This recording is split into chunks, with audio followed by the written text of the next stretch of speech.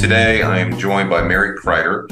Mary Kreider has been with CooperRiis now for 20 years. The 20 years that we've been open, Mary has been a big part of our healing community. She served for many years as the integrative health director here at CooperRiis, which means she was a fundamental and still is a fundamentally important person when it comes to nutrition and diet and meal planning and the use of supplementals and all that important stuff that is a part of our overall approach to treatment here at CooperRiis. Mary, can you talk to us a little bit about the relationship between good nutrition and mental health recovery and how it, how you've seen it play out over the years? Yeah, well, briefly, I would say that 20 years ago there was very little known about this. So uh, we've we've been at the cutting edge, I guess you would say, from the very beginning of looking at uh, diet and supplements as part of a recovery process. Food is medicine, which has become, you know, quite the thing in terms of research right now. so, uh, Lisbeth was when she and Don hired me that was all she wanted to talk to me about basically was to let me know that she felt very strongly that food um, and our diet and how we resource food organic locally um, and help people learn to eat something other than fast and processed foods was going to play an important role in our success and recovery. And that information, her belief around that came from an understanding statistically, but not scientifically yet, that our population was more prone to metabolic syndrome, which leads to type 2 diabetes, heart disease, cardiovascular stuff. And nobody knew why. Nobody understood why that was true.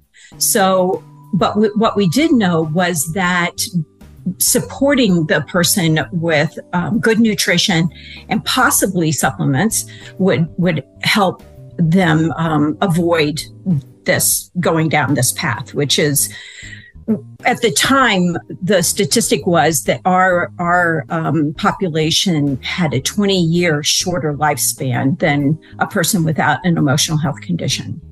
And it was more than just you know, what you would imagine. It was physiological, uh, the kinds of um, diseases that people would get as a result of their conditions. So, fast forward to 2023, and we have a lot more data now that tells us that um, not only is food medicine, but that supplements can help uh, alleviate the inflammatory processes that we now know are a very big factor in folks developing um, these um, these side diagnoses uh, away from their emotional health condition. So, type 2 diabetes, cardiovascular disease, these are all inflammatory processes. And lo and behold, now they know that emotional health conditions are also inflammatory in nature. So, there is a, a very good connection there. Third connection is the gut micro, uh, microbiome.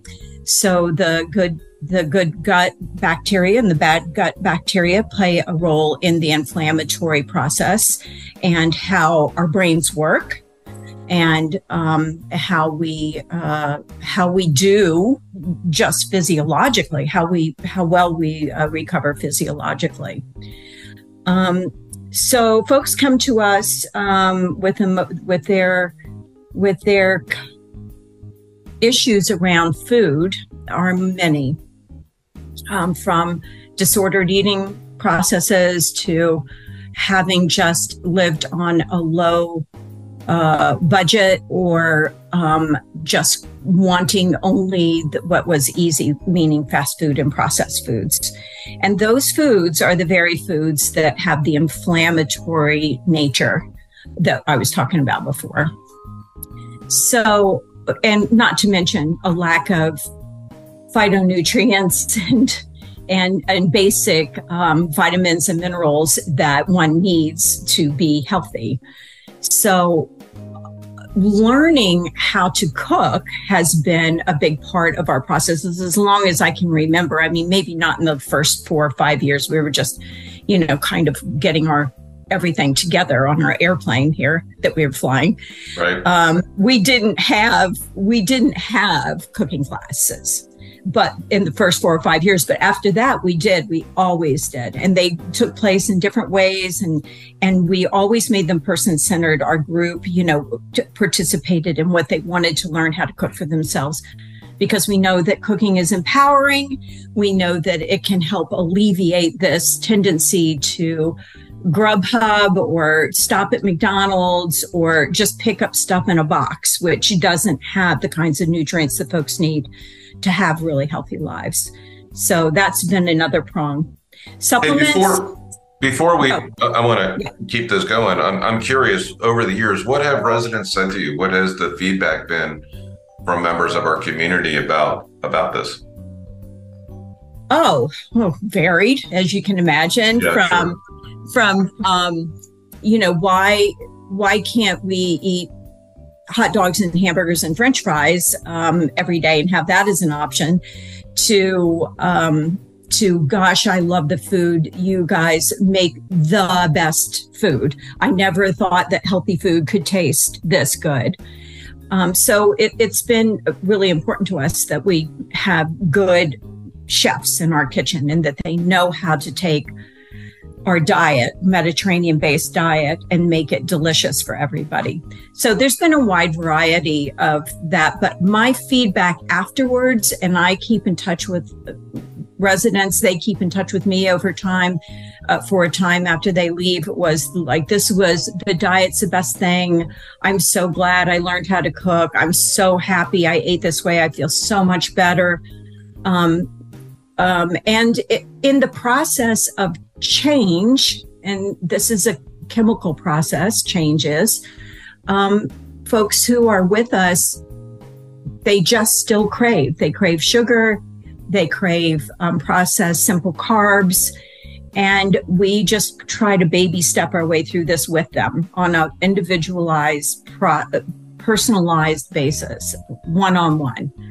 At least that's the way I did it. Okay.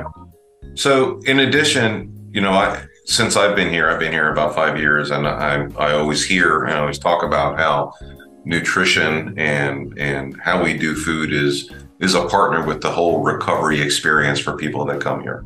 That food is a really big deal, and how we do it is a big deal, and you've been a part of it from the very beginning. But we also, you also are very involved in in the supplement world here. Can you talk mm-hmm. about that a little bit?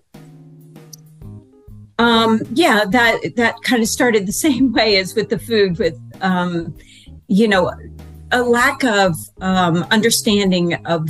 We saw the data, we saw what it looks like, right? But we didn't have the science to back our our desire to use just a few supplements in the beginning to help support a person in their recovery from multiple aspects from lack of vitamins, you know, things like B complex, um, fish oil. Um, those were fish oil at the time, 20 years ago, was known to be those omega 3 fatty acids as being anti inflammatory, not just cardiovascular, but also good for mental health. Psychiatry wasn't immediately accepting of this, and it was a little challenging to talk my way into the psychiatrist office and suggest that we could use omega 3 supplements fish oil that everybody now knows is is very helpful. Um, and there's no uh, do no harm status. So that became my um, focus as i worked with my team and we talked about it a lot was that what we wanted to demonstrate was there was no harm involved here. And there was some evidence for safety. Um, not safety but efficacy. We knew that they, they were safe.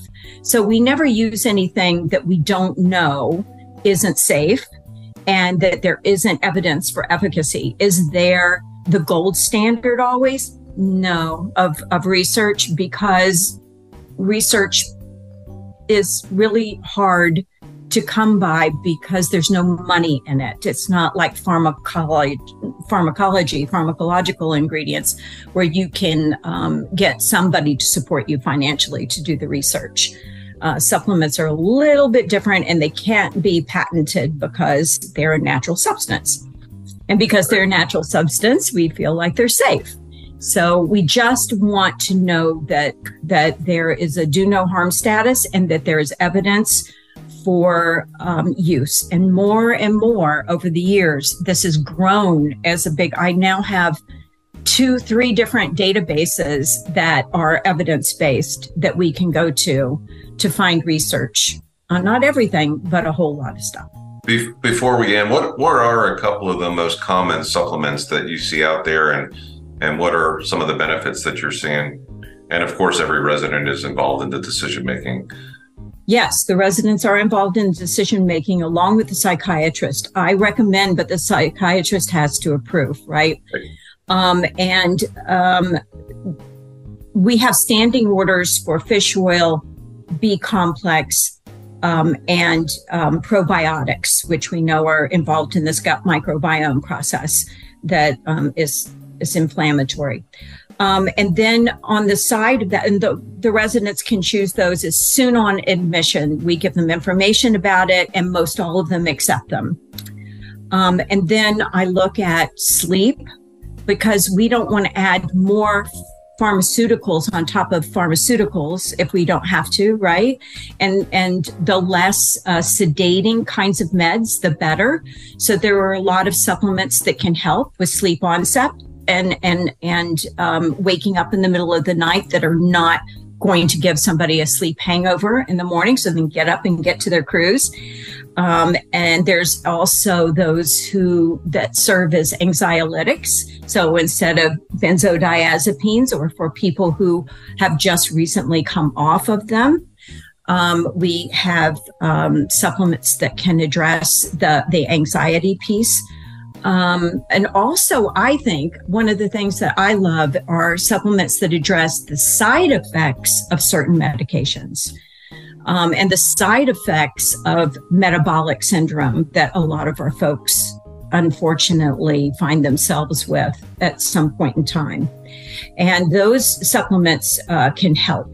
Uh, with with those side effects and bringing down cholesterol and um, helping with reducing um, inflammation. So inflammatory processes are for me like a number one. That's my number one thought process, both with diets and with um, supplements to reduce to reduce inflammation for a number of reasons. This has been great, and I know this is really the tip of the iceberg. We could go on and on about this. So, but we don't have time. So today, but thank you, Mary. Thank you You're for welcome. years my pleasure. Here and doing your thing. And uh, until next time, thank you, everybody.